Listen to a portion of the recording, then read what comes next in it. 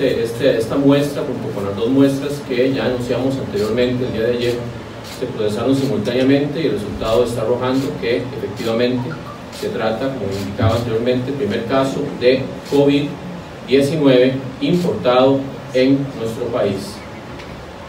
Los dos casos que estaban pendientes del día de ayer salen negativos, así que se descartan esos casos.